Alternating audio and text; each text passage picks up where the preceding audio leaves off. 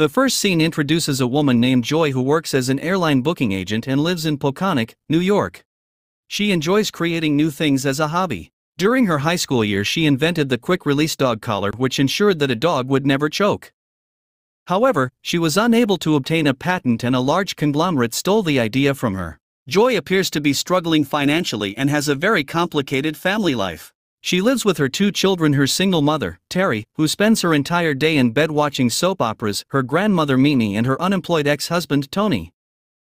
Tony, who lives in Joy's basement, aspires to be a singer.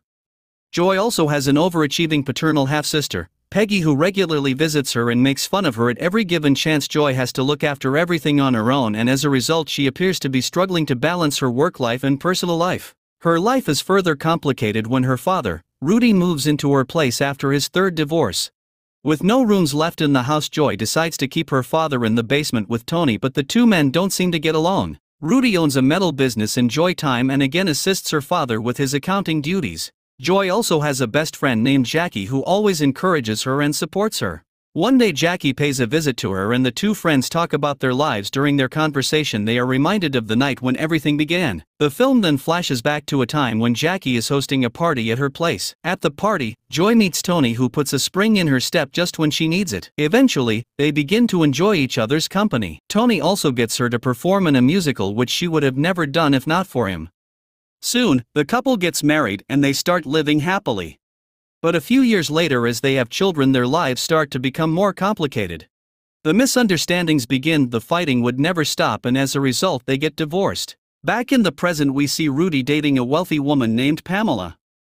One day, Rudy's family meets Pamela on her expensive boat and they all start having fun. Later, while drinking, the boat rocks violently, causing them to lose their balance. As a result, all of their drinks are spilled on the boat. Joy has to clean it up, and while doing so, she cuts her hand with a piece of broken glass. Later at home, Terry, as usual, clogs the sink with her hair, causing the pipe to become jammed.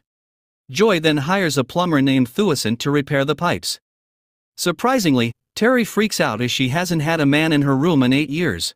However, Joy manages to persuade her mother to accept a compromise. The next morning, Joy asks Tony to move out of her house because they've been divorced for two years now.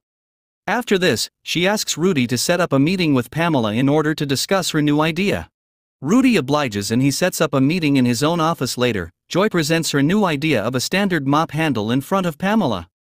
Using a sketch, she explains her newly designed mop, which can be operated with much less effort. Initially, Pamela does not understand the concept, so Joy presents her with a demo. She then invites Pamela to invest in the design, declaring that it has a lot of potential. Pamela thinks long and hard and she even asks Joy a series of questions.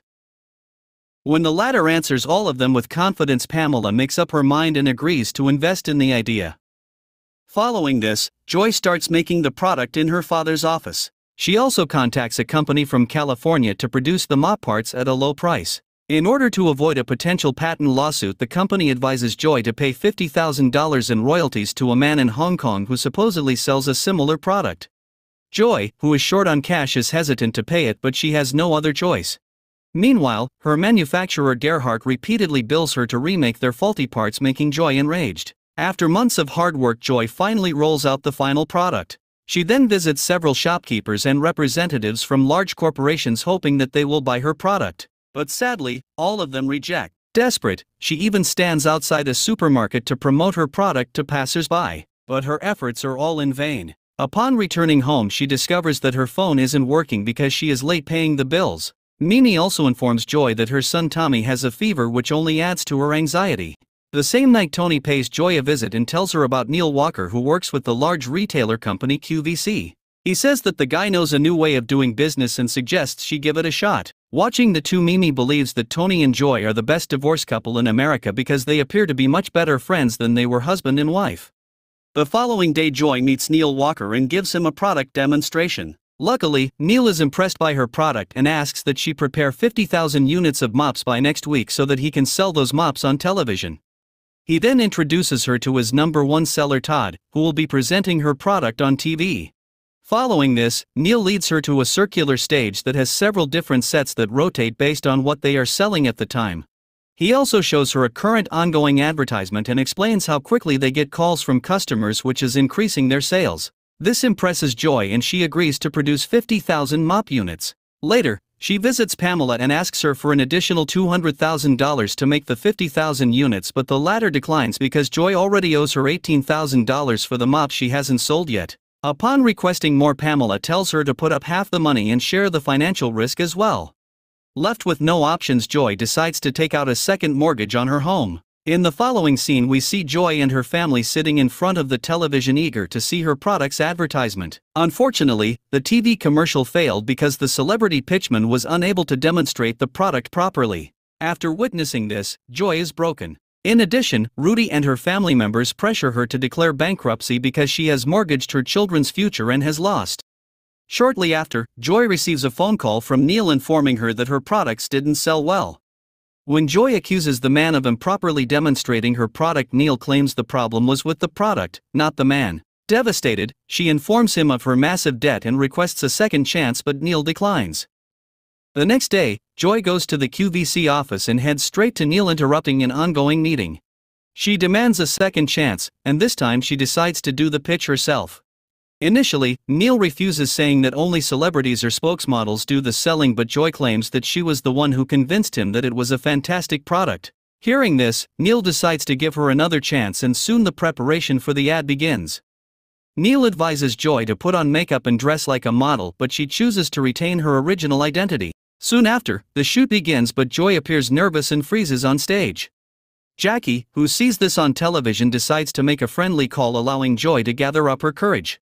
The plan works and Joy overcomes her nervousness. She then begins to present her mop in the best possible way, resulting in customer calls and sales. After witnessing this, Neil believes that Joy will be a whole new business. Following this shoot, Joy is taken aback by the number of sales that occur. She then approaches Neil, who invites her to be friends in commerce. Later, Joy shares the good news with her family and they celebrate her success with the party. However, Joy's happiness doesn't last long as her grandmother Mimi passes away. After the funeral, Rudy informs his daughter that Gerhard has raised the price per unit on the mop parts. He also mentions that since Joy was upset about Mimi's death, he instead sent Peggy to speak with Gerhard on her behalf. Unfortunately, Peggy makes an awful deal and she pays Gerhard excessive overcharges without Joy's permission. This jeopardizes Joy's business even more. In the next scene, Joy travels to California to discuss the price with Gerhard. However, the cunning man refuses to refund the money or lower the price of the mop parts. He claims that the raw materials she requires are too expensive for them to produce. Hearing this, Joy demands to see the manufacturing process, but he refuses. As a result, Joy pretends to use the restroom and proceeds towards the production department where she discovers that her own designs and molds have been stolen.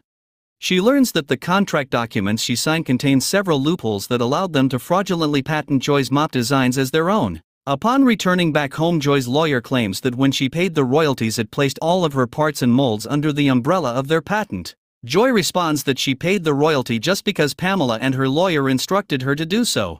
Hearing this, Pamela says that her lawyer was mistaken because he is not a patent attorney. Furthermore, Joy's lawyer informs her that when Peggy paid the unjustified bills, it closed the door on them. Now, Joy is unable to go to QVC fearing that she will be sued for delivering a fully patented product. With everything going wrong, Judy and Pamela put pressure on her to declare bankruptcy and vacate her home because she is deeply in debt. This time, she has no choice but to sign the papers. Shortly after declaring bankruptcy, Joy discovers that there was never a similar product in Hong Kong and that the manufacturer had defrauded her. The very next day, Joy flies to Texas in order to confront Derek Markham, the owner to whom she had paid advance royalties. She accuses Derek of fraud and embezzlement. She also claims to have discovered the paperwork stating that her mop bears no resemblance to his patent, so she never owed any royalties for his patent, which is another case of fraud. When Derek learns of this, he agrees to repay double the amount of her royalties plus interest in full. Joy also demands that he return all of her molds and has him sign a document stating that he has no rights financially. The movie then cuts to a few years later where Joy has become a successful independent businesswoman who sponsors other investors. Jackie and Tony are her steadfast confidants. Joy also sponsors Rudy, Pamela, and Peggy's products. Despite the fact that they wrongly sued for ownership of her company, Joy continues to take care of and love Rudy as he grows older. As Neil predicted, she did become a whole new baby and even outgrew QVC. Neil and Joy are adversaries in commerce, but they remain personal friends. Terry appears to be self sufficient, having a stable relationship with Toussaint. Finally, Joy lives a happy and prosperous life. Thanks for watching. Subscribe for more videos like this. Turn on the notifications and leave a like to help the channel out.